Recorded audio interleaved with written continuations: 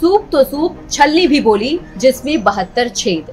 ये कहावत कांग्रेसी नेता जयराम रमेश पर बखूबी सूट करती है, जो आजकल पीएम मोदी के खिलाफ चल रहे कांग्रेसी विरोध में मुख्य भूमिका निभा रहे हैं। उन्हीं में से एक नाम है जयराम रमेश। जयराम रमेश ने बतौर कांग्रेसी नेता भारत सरकार के कई बड़े पदों पर काम करते हुए भारत के विकास में बड़ी अटकलें भी लगाई। वर्षों से पानी की बूंद बूंद को तरस रहे गुजरात और मध्य प्रदेश के गाँवों तक पानी पहुँचाने वाली नर्मदा योजना व महेश्वर योजना का विरोध करने वाले अराजक तत्वों का समर्थन किया उन्होंने। और केवल पार्टी के राजनीतिक लाभ के चलते वर्षों तक गाँव के गाँव प्यासे रहे। चीन के मुद्दे पर बार बार मोदी सरकार को कटघरे में खड़ा करने वाली कांग्रेस पार्टी की चीन के साथ दोस्ती किसी से नहीं छुपी। राहुल गांधी के साथ साथ जयराम रमेश ही वो सबसे बड़े चेहरा हैं जिनका चीनियों से करीबी संबंध है। मोदी सरकार के नेतृत्व में आज चीन को बार बार मुँह की खानी पड़ रही है।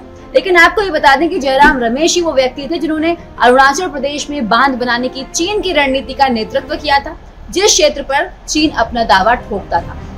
इतना ही नहीं 2010 में जयराम रमेश द्वारा मनमोहन सिंह को चिट्ठी लिखकर अरुणाचल के दौरे को रद्द किया, ताकि चीन से संबंध ना बिगड़ जाए और पर्यावरण का हवाला देकर जनता को भ्रमित किया। अब आप खुद ही सोचिए कटघरे में आखिर कौन खड़ा है? क्या चीन के साथ कांग्रेस की ये दोस्ती भारत की सुरक्षा के लिए सही है?